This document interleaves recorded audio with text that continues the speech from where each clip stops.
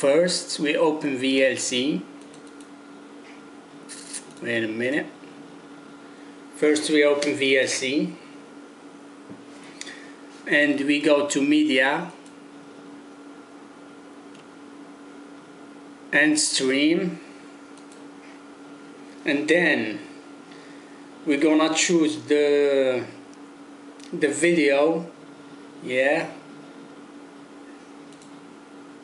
I'm gonna choose the video and the subtitle. Yeah we're gonna choose the subtitle.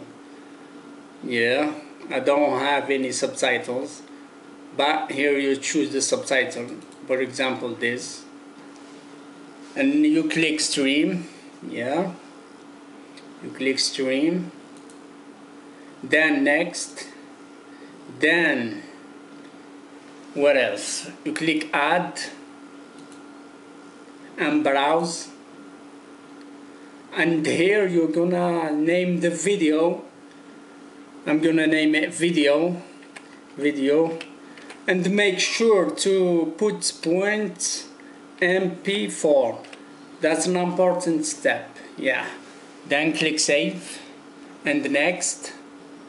And you go to this button and go to subtitle and then check subtitle and overlay.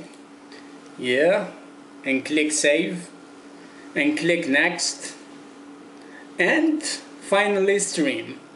Yeah. Bye